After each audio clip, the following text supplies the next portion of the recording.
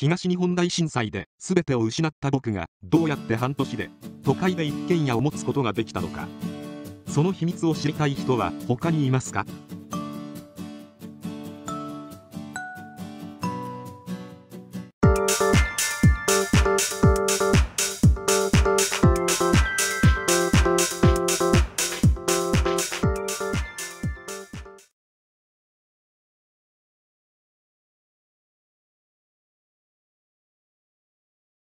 J1 は6日、第1ステージ第2節を行い、埼玉スタジアムでは、浦和レッズとジュビロ磐田が対戦。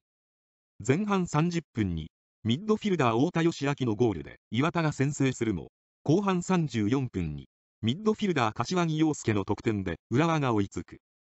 しかし、同37分に、フォワード J が決勝ゴールを奪った磐田が、2の1の勝利を収めて、今季初白星を獲得した。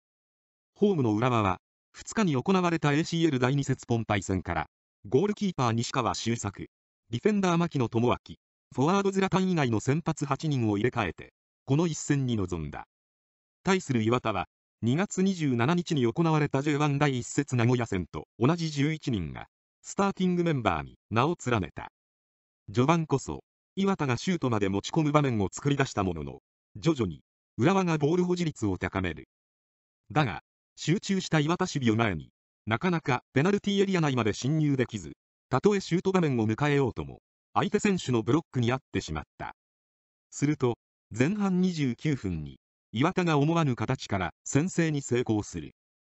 ディフェンダー森脇亮太からのバックパスを処理しようとしたゴールキーパー西川修作が、ペナルティーエリア内でまさかのキックミス。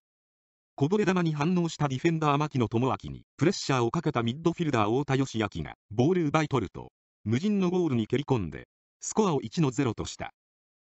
まずは同点に追いつきたい浦和は前半35分柏木のスルーパスからミッドフィルダー関根隆弘が右サイドを駆け上がるとグラウンダーのクロスに対してフォワード興梠心臓が飛び込む。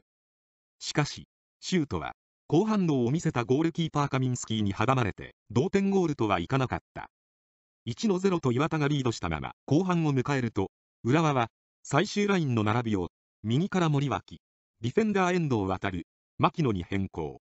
後半7分には左サイドのディフェンダー宇賀神智也のクロスから興梠がシュートまで持ち込んだがディフェンダー中村大輔にブロックされてしまう。同10分には岩田が後期を創出高い位置で、遠藤からボールを奪ったフォワード斉藤和樹が、ミッドフィルダーダユトンとのパス交換でペナルティーエリア内まで侵入したものの、シュートは西川にストップされた。すると、前半24分に、岩田は、アダユトンに変えて、フォワード J を、同25分に、浦和は、関根に変えて、ディフェンダー永田充を投入。さらに、浦和は、同32分に、フォワード武藤祐樹に変えて、フォワード石原直樹をピッチに送り込み、状況を打開しようと試みる。すると、同34分、ゴール前で受けた柏木が粘ってシュートまで持ち込むと、左足から放たれたシュートはネットを揺らし、ついに浦和が同点に追いついた。しかし、後半37分、左サイドからボールを受けたミッドフィルダー小林祐希が相手ディフェンダーをかわしてゴール前に送ると、ファーサイドのジェイが押し込んで、岩田が勝ち越しに成功。そのまま逃げ切った岩田が、敵地で2の1の勝利を収めた。